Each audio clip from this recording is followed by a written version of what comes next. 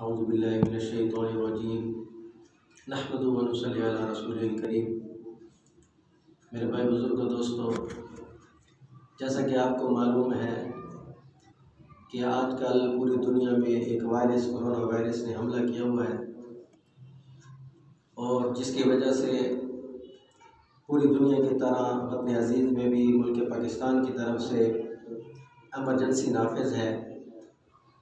اور بہت سی احتیاطی تدابیریں اپنائی جا رہی ہیں، جس کو، جس کا اہتمام کرنا ہمارے اوپر بہت ضروری ہے۔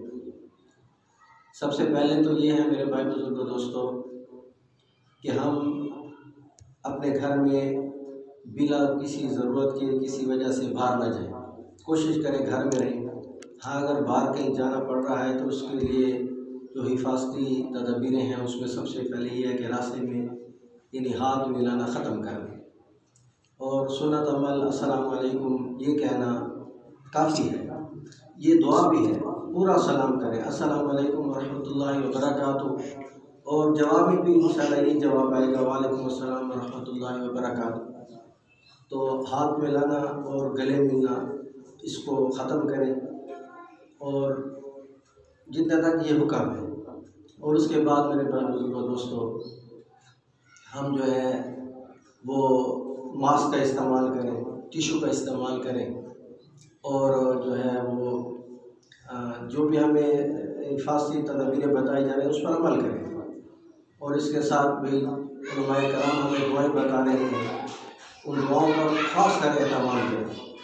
جس میں ایک دعا بتائی جا رہی ہے کہ گھر سے نکلیں یا داخل ہوں۔ دونوں یعنی نکلنے کے بعد اور گھر میں داخل ہونے کے بعد یہ دعا لفظ بھی پڑھے، بسم اللہ لا یضر شعیع فی الارض ولا فی السماء وهو السمیع العلیم۔ اور کسی چیز کا کھانے سے پہلے بھی اس دعا کا اہتمام کریں تو اس طرح انشاءاللہ اللہ تعالی ہماری حفاظت فرمائیں گے اور اس کے علاوہ جو ہے، آپ لوگوں کو ٹی وی اور ریڈیو میں بھی بہت سی حفاظتی تدابیریں بتائی جا رہی ہیں جس پر عمل کرنا بہت ضروری ہے۔ تو میرے بھائی بزرگ دوستوں ان باتوں کا جو ہے ہم خود بھی عمل کریں اور اپنے دوستوں کو بھی اس کا اس کو صبر دیں۔ اس کے لیے تمام لوگ کوشش کریں گے۔ اللہ پاک ہماری حفاظت فرمائے اور ہمیں عمل کرنے کی توفیق عطا فرمائے۔ واخر دعوانا الحمد للہ رب العالمین۔